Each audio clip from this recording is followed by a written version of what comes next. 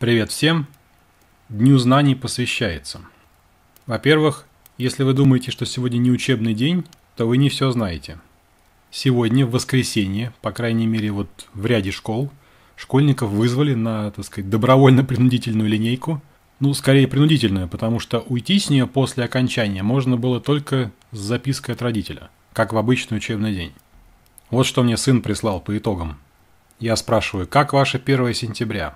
Ответ. Загнали человек 400 на площадку в парке и началось. Поздравления от директора, от пенсионеров, от ветеранов, от представителей власти. Все это вперемешку с гимном России, флагами России, девочками с флагами России. Наряды некоторых выступавших девочек заставили меня предположить, что тут велась охота на педофилов.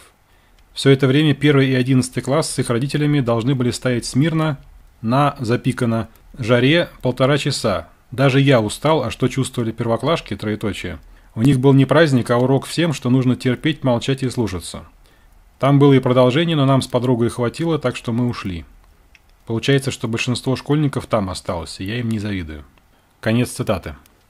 Я, в свою очередь, 1 сентября отметил забегом на пятнашку. Надо же готовиться, у нас скоро Ярославль и Ростов на носу. Это я пропустить не могу, несмотря ни на какие разъезды. Белки так оголодали, что сами выходят на дорожки прямо к бегунам, просят что-нибудь им дать. Основную же часть этого каста я хочу посвятить совершенно улетному ролику. Кто-то из комрадов бросил, по ссылке перешел. На канале Царьград ТВ стрим от 30 августа на тему «Политики предложили отменить институт брака в России». Это было шоу, которому Жириновский мог позавидовать. В общем, началось все с какой-то статьи в «Комсомольской правде», где неизвестный мне до сих пор политик Никита Исаев сделал такой вброс. Очень мягкий и очень поверхностный вброс, где так в сослагательном наклонении сказал, что а давайте подумаем, нужен ли нам институт брака в таком виде, каком он есть, и не нужно ли на что-то его поменять, не пора ли его бросить. Причем не вдавался ни в анализ, ни в историю. Все обоснование было только на том, что больше половины разводятся. То есть большинству людей институт не подходит, он не работает. Ну, просто констатация факта. Я не понял, он действительно хотел хайпануться, всерьез запустить дискуссию, или через него просто какая-то большая сила решила такой вброс сделать осторожный. Вероятно, какие-то силы все-таки мониторят и нашу с вами активность в социальных сетях тоже. Но получилось улетно. Первым гостем был Герман Стерлигов. И забегая вперед, на всю передачу он не остался, сбежал из студии. Я считаю, правильно сделал. Меня вот вообще нельзя отнести к фанатам Германа Стерлигова. Мне кажется, он, ну, на мой вкус, он перегибает палку. Но он хотя бы говорит правильные и понятные вещи. Если с ним нужно было спорить, то спорить нужно было по сути. Ведущий же, Владимир Карпов, который изображал этого самого дежурного по редакции, по-моему, продемонстрировал полное позорище и непрофессионализм. Мало того, что человек совершенно не готов к обсуждаемой теме, то есть вообще вот плавает в элементарных понятиях. Они со Стерлиговым говорили на разном языке, буквально на разном языке, как если бы один говорил на итальянском, а другой понимал только французский. Какие-то похожие слова звучат, но контакта нет мимо. Человек полный, законченный профан. Причем видно, что он, он не играет дурака, он действительно вот такой. Он ну, не обладает никакими знаниями вообще в этой области. То есть его нельзя было допускать до этой передачи вообще. А во-вторых, как ведущий он тоже, в общем, проявил себя, мягко говоря, не лучшим образом. Мне кажется, это просто профнепригодность. Вообще неумение удержать вот эту как бы струю передачи. Дать сказать гостю, который явно знал больше, чем этот ведущий, раз, наверное, в 50, если не в 500. Можно с ним не соглашаться, но у тебя нет знаний, чтобы с ним спорить. Правильнее было молчать и только междометия вставлять отдельные. Все и так поняли, что ты хочешь протавить конкретную мысль, конкретную позицию. Причем обоснования этой позиции, конечно, нет никакого вообще. Все на голом слове. Прям тянет ставить фразу «дети Фурсенко». Это вот оно самое. И когда Герману Стерлигову это надоело через какое-то количество предприятий, он просто встал и вышел из студии.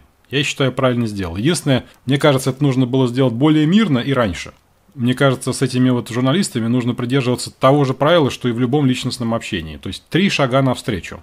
Пытаешься первый раз сказать мысль, человек тебя перебивает, говорит на непонятном тебе языке и не понимает то, что ты ему говоришь. Нужно ему сказать, типа, что вы меня пригласили, вы мне должны дать сказать то, что я хочу сказать. Вам сказать нечего. Я вижу, что вы ничего не знаете.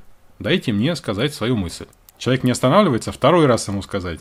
Я вас предупреждаю, я пришел высказать свою позицию. Вы меня сами позвали. Либо вы мне даете это сделать, либо вы будете сами здесь сейчас дальше передачу вести. Если ведущий третий раз продолжает делать то же самое, ну тут можно просто молча снимать микрофон и просто спокойно выходить из студии. Все. Что на них эмоции тратить? Главное, это канал, у которого в About написано Наша цель – донесение до широкой русскоязычной аудитории консервативных ценностей и патриотических смыслов.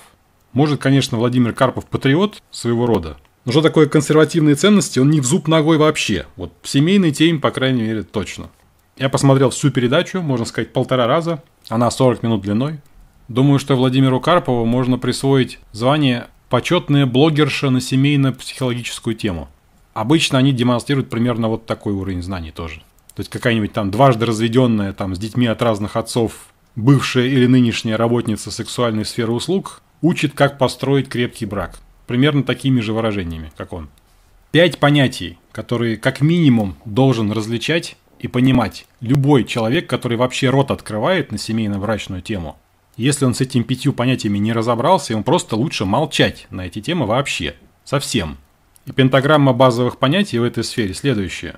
Семья, брак, церковный или религиозный брак, гражданский, он же государственный брак, свадьба. На весь интернет, наверное, полторы блогерши, которые разбираются в этих понятиях. Для всех остальных, как и для дальнейших гостей тоже в этой студии, у них брак равно раздел имущества, по сути, и алименты. Вот что для них брак. Никаких других понятий брака у них нет.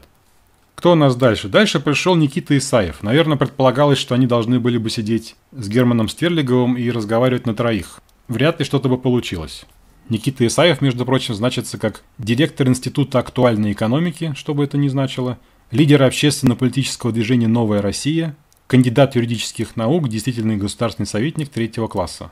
Автор концепции социально-экономического развития страны «Новый НЭП. Национальная экономическая политика».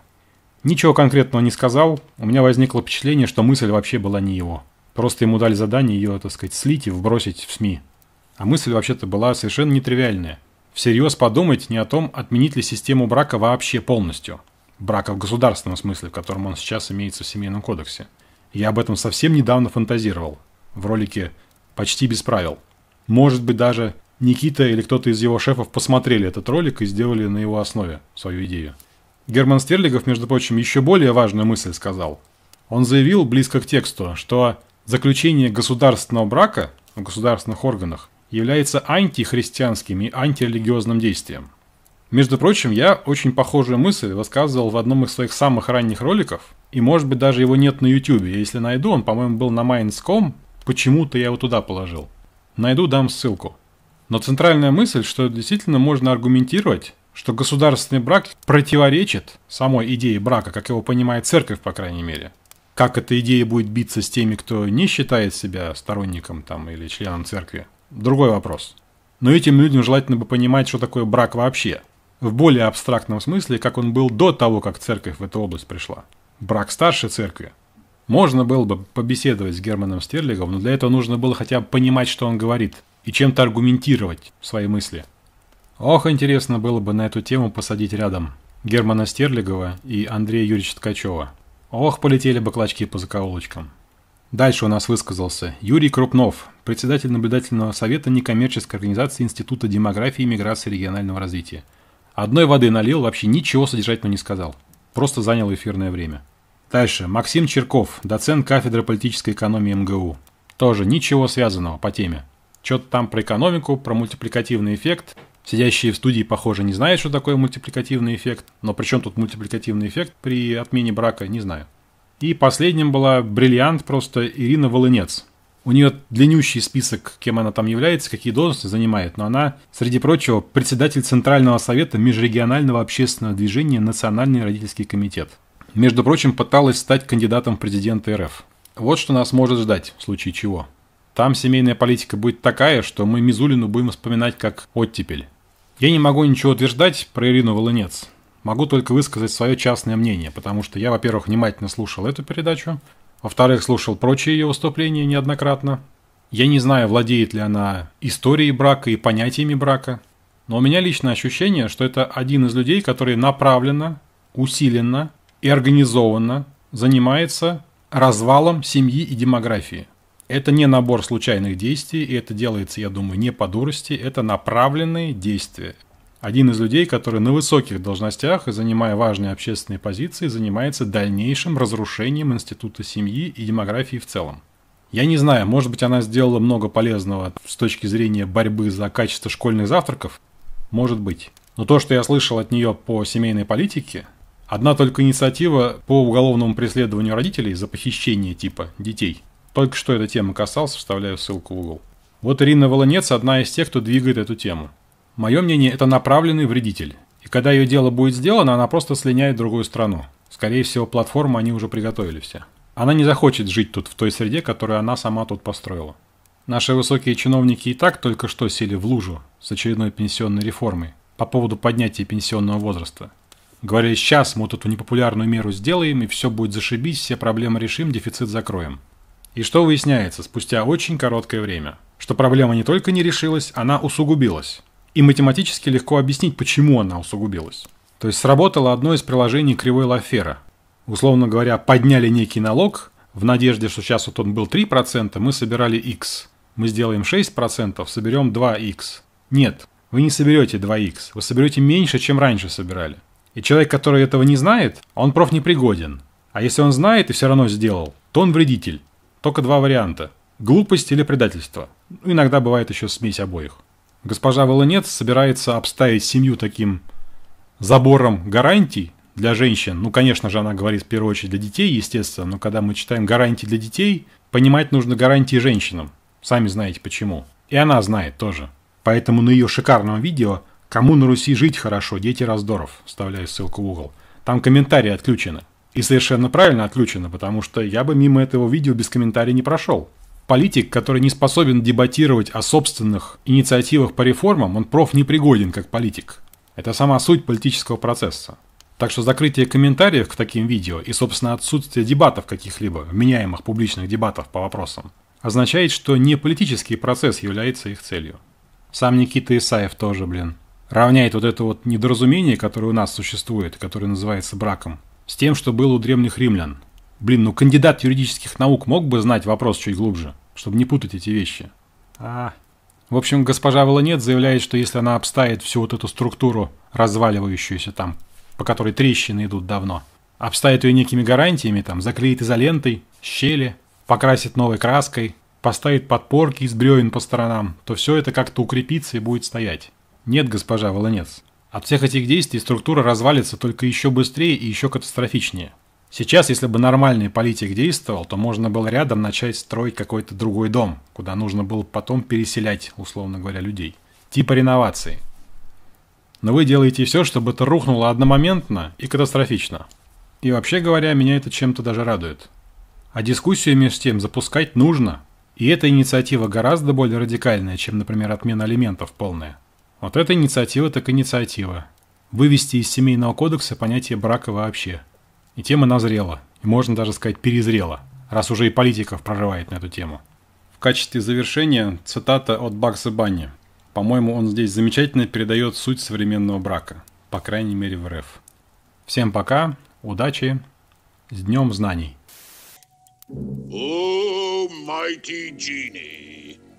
Release me, and I shall grant thee a rich reward. Hassan, release you, oh master.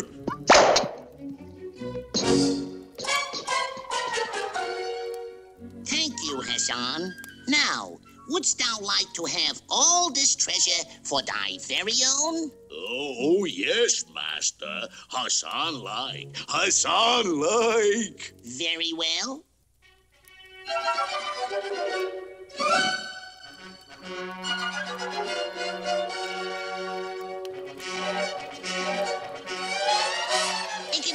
Ooh, eh, eh, ziggity, zaggity, zoo, ah, ah, ooh, ooh, eh, eh, eh, flippity, flappity, floo. It's yours.